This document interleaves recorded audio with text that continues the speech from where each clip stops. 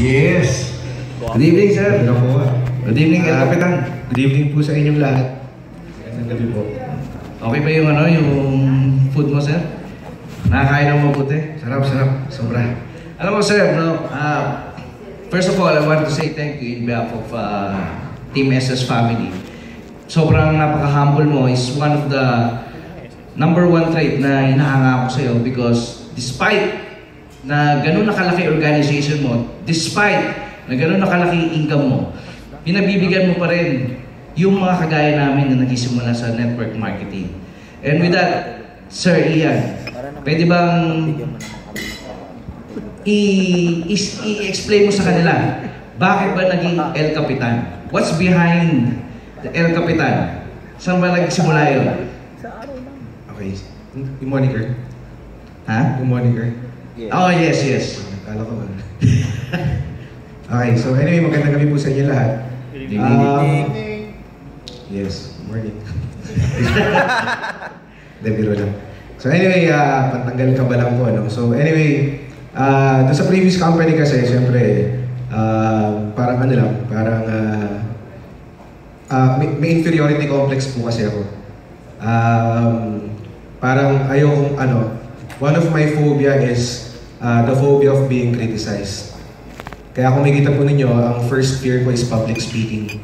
Ah, siguro po mukha lang hindi dahil parati po nagsasalita sa mga events. Pero pinipilit ko po siya as part of my practice para matanggal yung fear ko on public speaking.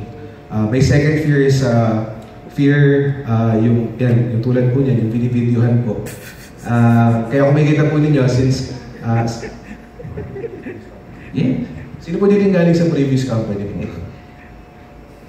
Kaya makikita niyo po, simula po dati hanggang ngayon, wala po ako masyadong video kahit na ah, yung, yung solo o mahabang, mahabang interview. Bakit? Kasi nga po, yun yung phobia ko, phobia of being criticized. So anyway, going back sa El Capitan, siyempre Facebook po, no? Ah, hindi ko po gawain na mag-post sa Facebook um, dati. Okay, pero syempre dahil yun nga po dahil uh, Facebook is uh, parang a new technology to reach out to your people para hindi ako ma-criticize, para hindi alam ng mga tao yung pangalan ko po, ginawa kong El Capitan yung pangalan ko po. Ah, para i-bash man ako ng mga tao, even siguro yung mga distributors ko, kasi at that time, hindi ko po alam kung anong mangyayari sa akin pag lumaki yung grupo. Ah, basta fear of ah, phobia, no? Ah, phobia of ano, being criticized. I-bash man ako. Hindi nila binabash si Ian Ocampo. Binabash nila si El Capitan. So, parang yun yung naging mindset ko. Pero syempre, ano, after two years, three years dun sa previous company, ah, sorry, after two years, three years since I um, started yung Facebook account ko po, kung mapansin niyo po sa Facebook, bawal na yung bawal na yung ah, moniker. Mm, Kaya kung makikita niyo po, yung pangalan ko po, naging totoong pangalan na talaga sa Facebook, Ian Ocampo na po. Yes. Yung dahilan nun, sir. Okay, so, so yun, para at least hindi po ako, yung mal- malampasan ko yung fear ko na yun. Um, El Capitan, napili ko po kasi kumbaga, uh, of course, lahat po tayo are captains of our own ship. No? Uh, uh, we are the captain of our soul. Hindi, parang poem na yun. No? So, we are the captain of our own teams. No? Yes, siguro for some, may upline ka. Pero of course, kahit na upline ka, ah, kahit may upline ka, ikaw mismo, upline ka rin eh, sa sarili mong grupo eh. Yes. Diba? So, ibig sabihin, bilang the captain of your own ship, uh, your own ship, you need to learn how to uh, lead your team. Whatever it takes. Kahit na hindi mo kaya. So, tulad ko po, kahit hindi ko kaya, wala akong choice eh. Kailangan ko i-lead yung grupo. So, yun po. There you go, El Capitan. Anyway, sir, um, three important characteristics that every leaders should possess. Parang nasagot ko po yan sa yate. Ano. Oo. Meron pa kasi siyempre, ano, live. Same, question eh. Three characteristics for me kasi number one is integrity. Uh, of course, I'm not saying I'm perfect when it comes to integrity. So of course, I myself is a servant of my own trainings. Uh, I'm not saying na lahat ng sinasabi ko, eh, ako po yun. Pero I myself, I'm submitting myself sa lahat ng sinasabi ko. So in short, para at least, uh, uh, yun, maging inline din po ako. Uh, so number one is integrity nga. So we have to take good care of our character. Kasi if you have a good character, yung trust ng mga tao mo madali na. uh, trust ng mga prospects, trust ng mga distributors especially. Dahil mahirap mag-lead ng team kung hindi naniniwala sa iyong mga tao. Uh, mahirap mag-lead ng team kung medyo dubious yung leader nila. Uh, mahirap mag-lead ng team kung medyo yung leader nila medyo may mga gray areas. So, whatever it takes, you have to protect your integrity. Uh, second characteristic is, uh, of course, you have to be hardworking. Um, ako po, as, parating, uh, parating ko po sinasabi, hindi po ako magaling. Uh, pero minsan, syempre, pag, uh, pagkabiwan ko yung mga distributors ko, uh, pang tanggal ka ba, sabi ko, magaling ako, parang ganun. Pero in reality, hanggang ngayon, ako po tanggap ko po na hindi po ako magaling. Um, for me, ang isang mga motto ko, marami po akong motto eh. Pero isang mga motto ko, daig ng masipag ang magaling. Uh, bakit? Kasi kung masipag ka, kahit na hindi ka magaling, ano man ang mangyari, gagaling ka din eh. Tama? Right. Pero kung magaling ka, pero hindi ka masipag, sabi nga ni Press kanina, you were given a gift, pero hindi mo ginamit, wala yung gift na yan. So, second is hardworking, whatever it takes. Uh, kahit na pagod ka na, kahit na hapong-hapo ka na, di ba? So, sabi nga nila, uh, we do not rest when we're tired. So, leaders do not stop. Uh, we only rest when we're done. And again, rest lang. Tapos, hataw ulit. Um, third is consistency. Uh, paano consistent? Kasi yung iba, uh, dahil hindi sila firm, parang nag-enjoy na ako. yes. Go! Okay. So, ayusin ko lang. So dahil hindi po sila firm sa mga beliefs nila, sila mismo, nagdududa sila sa mga pinaniniwalaan nila. Ano ibig ko sabihin? Yung parang ngayon, naniniwala ka na effective tong ginawa mong system, tapos napansin mo, nung ginagawa mo siya, you are not getting the desired results. So ano nangyayari? Instead of you continue it and you be consistent in doing it, tinitigil mo na siya. So, ano po yung point ko? Ano man ang mangyari, you have to be consistent. Huwag mong tigilan ang ginagawa mo. Bagkus, kailangan mo lang i-improve. Kailangan mo lang i-polish yung different size. Parang diamond, di ba? Isang diamond, bago maging diamond yan, isang libo, isang milyon, no? Ilang, isang trillion na cuts yan to be polished. Para maging polished at perfect diamond siya. So, consistency. Hindi pwede ngayon, gigil ka, tapos next month, tinatamad ka na. Or gigil ka ngayong araw, tapos bukas, petics ka. Gigil ka this week, tapos next week, medyo complacent ka na. So, lahat ng mindset mo, culture-wise, skill set-wise, skill set-wise or system-wise, you have to be consistent about it. No? So again, to wrap up, consistency, integrity, and uh, hard work. Ganda no? So, integrity, hard work, and consistency. Tama ba, sir? Yes. Anyway, sir, um, sa tingin mo, ano yung... Kasi madalas na kitang napapakinggan and sabi mo nga, dahil mo ng pinagdaanan, di ba, naging, naging, naging sales, ano ka, agent ka, naging entrepreneur ka until such time na nag-focus ka sa network marketing.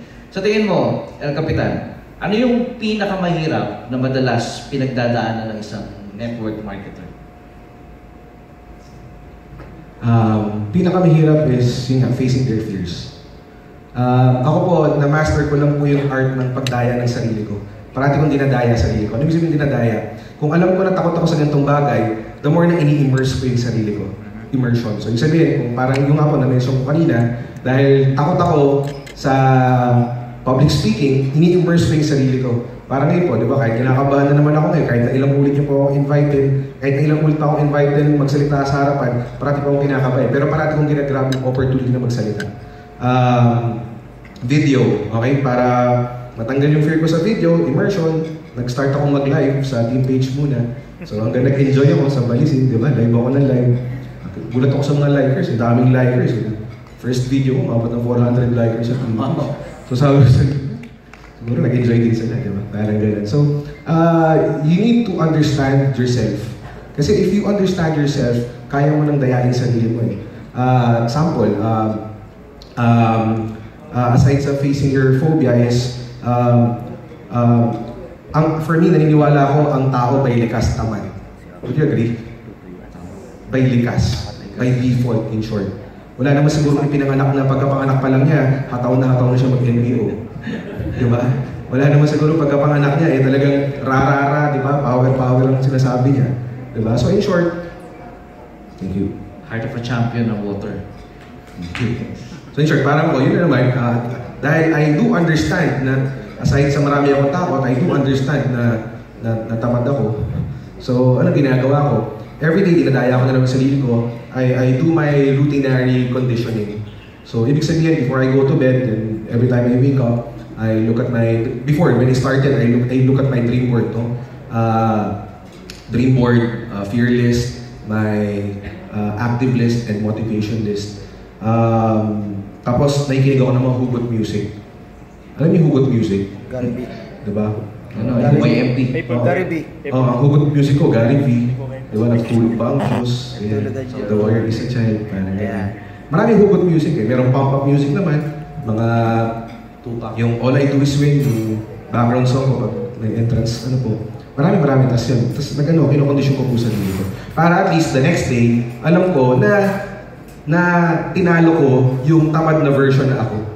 Yes. Para at least the next day, hataw tayo ulit. Galing, galing, galing.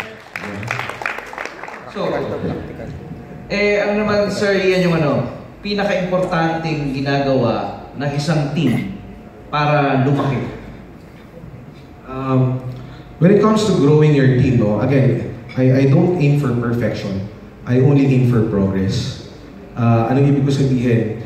Kahit na hindi ko alam kung paano mag-conduct ng mga activities when I started, basta alam ko, kailangan ko lang mag-conduct ng activities. So in short, it's more an activity-based uh, uh, activity-based progress.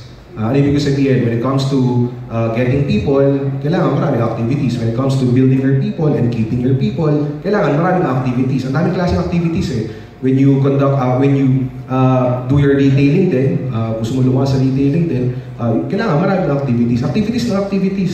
Um, kung mapansin nyo nga po, di ba, um, sample ko, uh, every month I do have my assemblies din. Uh, ang, ang, ang, ang team members namin na nag-attend, usually nasa around 500 uh, every, at least every month. No? Hindi ko, again, hindi ko alam paano mag-conduct ng big event. Kaya nung una, medyo maraming nagagalit, uh, maraming maarte, kasi di maiwasan, di ba maarting distributors talaga eh. Di ba? Yung, kasi lang sila eh. Tapos kumakain sila sa, ano lang, sa tawag dito, sa paper, ah, sorry, take-out box. So, syempre yun. So, natuto ko, improve lang ng improve, improve lang improve. Ah, ganun naman yun eh, di ba? Um, lahat naman tayo nagsimula nang walang alam eh. Ah, pero if, if, if, if, ah, if, if, if you agree, okay, na, na gusto mo talagang yumaman, whatever it takes, kailangan mong galingan.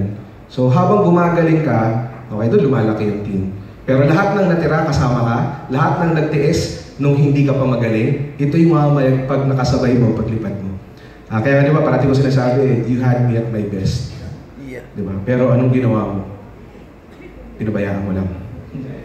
And you chose to break my heart. Diba? So, if you, if you, if you broke my heart, sorry ka. Pero if you, if you, if you, if you will stick with me, kung lalaban ka, kasabay ako hanggang dulo, no, like Jonas, no, and the rest of my team, um, may kalalagyan ka. Di ba? Para sa mga naniwala. Di ba? Kaya pag ako nagsasalita pa para sa mga pangarap, para sa mga, ah, para sa ating pamilya, para sa mga naniwala, at lalong-lalo sa mga lintik na hindi naniwala. Di ba? Kailangan nating lumaban. Uh, activities, and then, madalas ko kasi nakikita sa sir ito eh. Ang galing mo mag-push ng leader. And kung di mo na itatanong, I, I speak to a lot of your leaders. One of them, siguro, kilala-kilala mo siya, si sila Sir Ramil, sila Sir Jonas. Ang tinatanong ko sila, paano, paano ko ba, paano ba pinupush ni Sir Ian? So, madalas sila sinasabi, direct to the point ka daw. So, doon, natututo ko. Pero parang marinig ng karamihan dito, ito na yung ano, ito yung gusto namin malaman. How do you push your leaders? Sige, no holds barred naman. um, kung ako po mag-build sa inyo, baka hindi nyo po magustuhan. Uh, unorthodox yung way ko po ng building. Uh, sasabihin ko yung mga bagay-bagay na kailangan marinig. Uh, kaya minsan, even sa team page namin, pag medyo wapak yung message ko, hinashtag ko, I am your dark knight. Kailangan kong gawin yung mga bagay-bagay para ma-flex kita. Kailangan kong gawin yung mga bagay-bagay para mag-grow ka. Because kapag pag puro pat on the back ang inaabot mo sa akin, puro pure, success will breed complacency. Uh, Jonas is doing uh, 800, 900 to 1 million per week. Um, pero si Jonas, pagkasama ko po yan, wala pa rin siyang maririnig na, of course, pupurihin natin, of course, dahil uh, uh, ano entitled siya doon to na, yung, yung, yung hard work na pinagdaanan niya. Pero after ng congratulations na yun, trabaho tayo ulit. Ano yung next na goal? Um, some, some, okay, pag beginner ka, pwede mong isipin na harsh ako mag-build. Mm. Harsh ako mag-build. Pero harsh ako kasi alam ko kaya mo. Pero once na nakita ko na hindi mo na kaya, of course, hindi na ako magiging harsh. Kaya mas matakot ka pag hindi na ako harsh. Yes. Kasi ibig sabihin, I'm, okay, um, for me, uh, marami akong terminologies. Part of my terminologies in my team is what I call building and keeping. Building is, ikaw ang sasabay sa akin. So, ibig sabihin, dahil nga kailangan mo sabayan yung standards ko, okay, okay pressure ka. Some might be, might, might feel na medyo harsh dahil sabihin ko sa'yo kung ano kailangan mong gawin. Sasabihin ko sa'yo kung ano yung mali mong ginawa. Sasabihin ko sa'yo kung ano hindi mo ginagawa. Sasabihin ko sa'yo kung saan ka sumusobra naman. Di ba? Eh of course, if you are not, if you do not believe in me, you'll get offended. Uh, especially nung nagsisimula po ako. Bakit? Dahil nung nagsisimula po ako, wala man po akong ganitong resulta eh. At dahil ako, nag, ako, ako kumakausap sa lahat, sa direct ko, pati sa mga, of course, sa mga nasa ilalim po nila. Of course, yung iba, dahil nga, syempre, feeling po nila, uh, pag, pagbago, no? like ako, bago po ako dati, feeling nila parang pantay-pantay lang. Anong karapatan mo para sabihin sa akin yan? Di ba? Pero like what I said, ako pa naging firm lang ako. Uh, I, I, I firmly believe okay, na lahat ng maniniwala po sa akin, ito po yung lilipad. And uh, awa naman po ng Diyos, yun nga po, lumipad naman po. Buti na lang. kasi, kung, kasi, kasi kung hindi, ang huling halakhak nasa kanila. Pero tulad po na sinabi ko po, kasama sa motivation ko para sa mga hindi naniwala. So I will not stop uh, I will not stop improving. Uh, I will not stop. I will never stop. Okay? Um, hindi man ako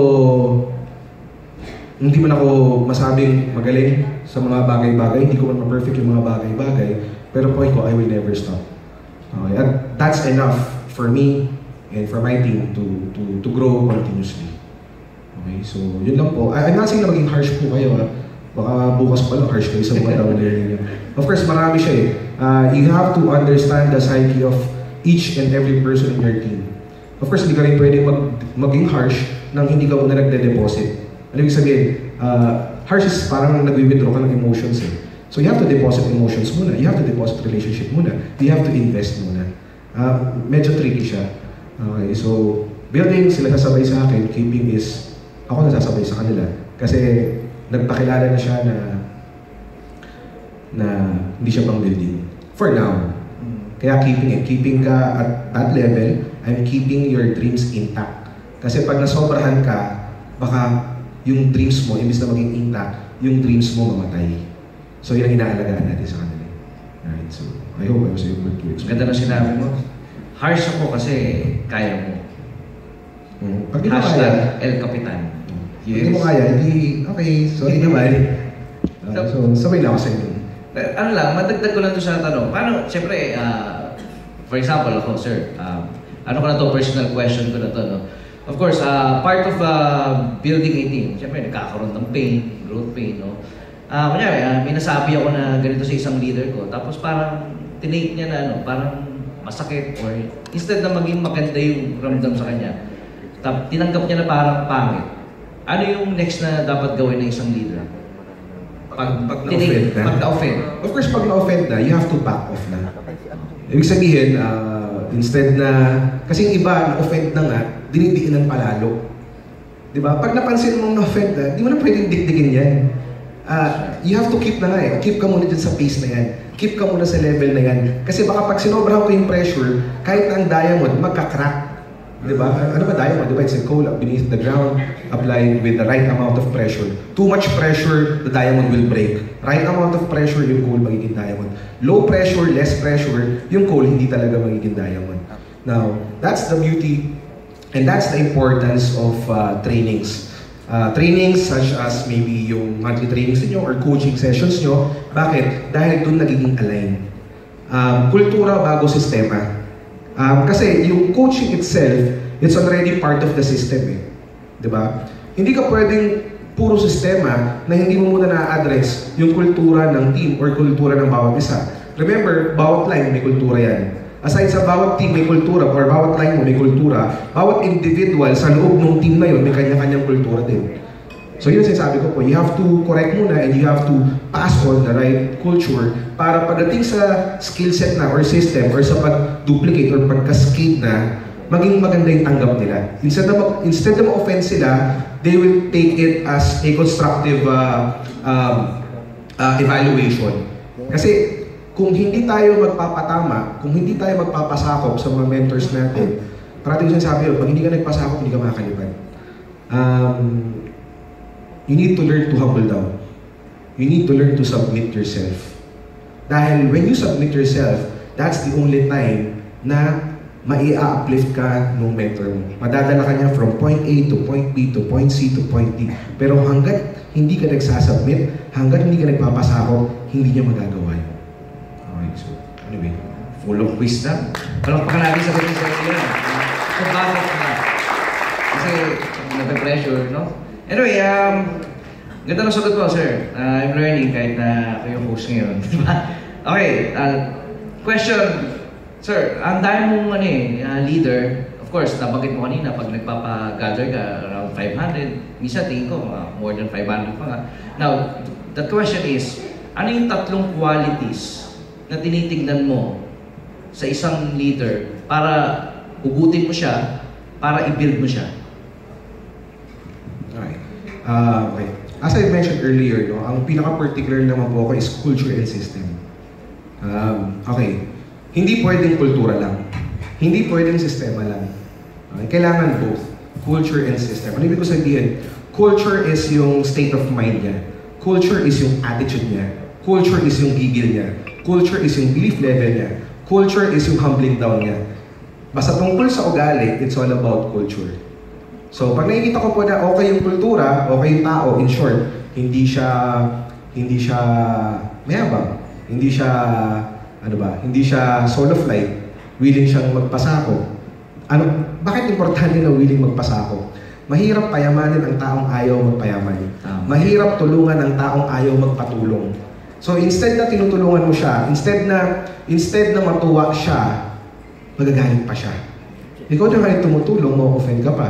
Di ba sabi nga nila, um, correct a wise man, they will appreciate you. Correct a fool, talaga magagalit sa iyo. Away kayo, magka-clash kayo. Tama? So, now, now, pangalawa. So, gauge ko ng culture is yung submissiveness ng tao. Submissiveness ng taong magpa-build. Okay, now, um, cul- uh, system naman is, system naman is kung ginagawa niya yung tinuturo mo. System is about skills eh. Uh, would you agree? Okay. So anyway, system is about skills. So, for me, hindi porke sinabi mo sa akin na sinusunod mo yung mga sinasabi ko is you are already following the system. Kasi for for me, meron ako tinatawag na BLG. Ah, ano yung BLG? Ito yung sa mga sindikatong ah, lumalaki under your group. Ah, anong sindikato? Ito yung ito yung kung tawagin ko mga bomba langgang. Um, Boom. So ano yung mga bomba langgang? Ito yung sabihin sa'yo, Apre, ginawa ko naman lahat eh. Apre, sinabi ko naman yung, ginawa ko naman yung sinabi mo eh. Apre, ginawa ko naman yung nasa training mo eh, pero wala pa rin. So, of course, ikaw, kung hindi mo alam yung, kung hindi mo alam yung sindikatong bomba langgang, maano ka, shit, parang, ay sorry, parang free. Baka, ano, may mali nga. Di ba? Pero kung ikaw, confirm ka na 1 plus 1 equals 2, meron bang 1 plus 1 equals 0? Wala, di ba? 1 plus 1 equals 2. So, ibig sabihin, kung ikaw, confirm ka sa belief mo na kapag ginawa niya yun, itong makukuha ang resulta niya, dapat hindi mo iniisip na na ginagawa talaga niya yun. Ibig sabihin, hahanapin mo talaga yung mali. Baka sinasabi lang niya ginagawa niya, pero in reality, hindi talaga niya ginagawa para matapos lang yung usapan. Yes. Di ba? Ginagawa ko naman ako, tapos na syempre. Di ba? Uh, another, another, another thing is on how he uh, decodes yung mga sinasabi mo. Kasi pag, nag, pag nagbato ka ng sistema, pag nagbato ka ng skills, parang cube. Ang isang cube, di ba maraming sides? Now, kapag sinabi mo isang bagay, baka tinitignan niya isang side lang. Where in fact, ang every topic, meron siyang maraming sides. Kaya nga, di ba, for every, for every general rule, there's always an exception. Uh, at isa pa lang yun, eh, imagine mo, kung talagang maraming situation, scenarios, dapat yung lahat ng scenarios na yun, lahat ng sides na yun, lahat ng angles na yun, maintindihan niya. Para masabi niya na ginagawa talaga niya lahat. Okay, so ngayon, yun nga, pag nakita ko po na, na, na, na ginagawa niya, at the same time, he is getting the desired results, no? Which is, uh, uh, wholesale packages or retailing man. So, yun, uh, build tayo. Uh, so build, build meaning iaangat mo na yung level niya. Uh, and again, you cannot you cannot build a hundred people lang sabay-sabay. Uh, you can only build a certain number of people ng ng uh, ng ano ng, ng sabay-sabay. Kailangan, kailangan pala, ano, titignan natin yung mga BLG. Okay, sir, uh, fast break. Ready ka na ba, sir? Yes. Alright, fast break. If you ever met God, what would you ask for? Anong hihingin ko?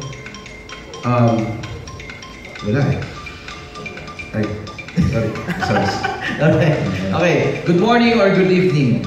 Uh, good evening. Best gift you've ever received. Uh, love. Swim with the sharks or wrestle a lion. Uh, swim with the sharks. Dunk or three points. Uh, three points. Yes. Best coach or best player. Best coach. Lagi akong may dalang, lagi akong may dalang uh, uh, wisdom. Yes. kunin mo yung, eh? kunin mo yung, kunin mo yung susi ko. Dalawa Bilisan mo mag. Mag-build. If you could buy an island, ano ipapangalan mo? Uh, Isla Ocampo. Yes. There you go, ladies and gentlemen. Mr. Ian Ocampo. Thank you.